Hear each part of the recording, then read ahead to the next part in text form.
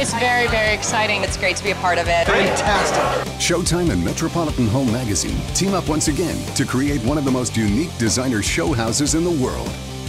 14 top design teams transformed over 14,000 square feet of space in New York City's trendy Tribeca neighborhood, using Showtime's hottest original series as inspiration.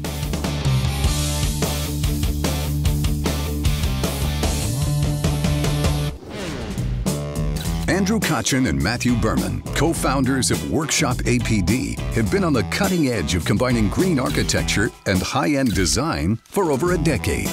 We're incredibly proud of our work. We never could have predicted 10 years ago that we would be doing the kinds of things that we're doing today.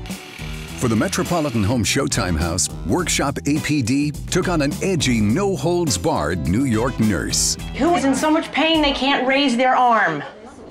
Our inspiration came mostly from Jackie herself and, and, sort of the inner struggle she has, and that's the grounding for our entire project. Do you think there's a finite amount of pain in the world? Yes, that's why there's drugs. We started with this very textural wall, and, and, of course we needed a nod to Nurse Jackie, so we found these pill bottles. Your eye catches all these pieces, you don't know really what they are, and you kind of want to investigate them further. What does one offer as a side dish when serving John the Baptist's head on a silver platter? Potato salad. The image of Salome holding the head of John the Baptist on a platter, that was very powerful for us. And it specifically speaks to this character that Edie Falco portrays. Much like Salome, is a very strong woman, but at the same time gets vilified. Make me good, God, but not yet. We knew from the beginning we wanted to have a focal point in the room. And we ended up creating a pattern of pills, so when you stand back from this, you can actually see the pattern of the pills that the dimples create within the Corian material. Built from an image of pills, each hole in this custom-made Corian wall installation is milled out to create texture and depth. We also wanted to integrate into the wall this idea of the Christian cross and the Red Cross as they relate to all the things that happen within the hospital. I think you're a saint, just so you know.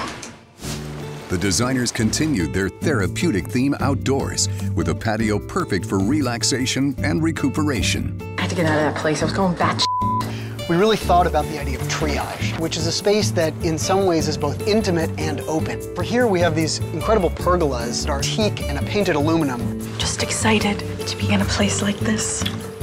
Nurse Jackie has a pretty intense drug addiction that is highlighted throughout almost every single episode, so we wanted to somehow integrate that addiction throughout our spaces.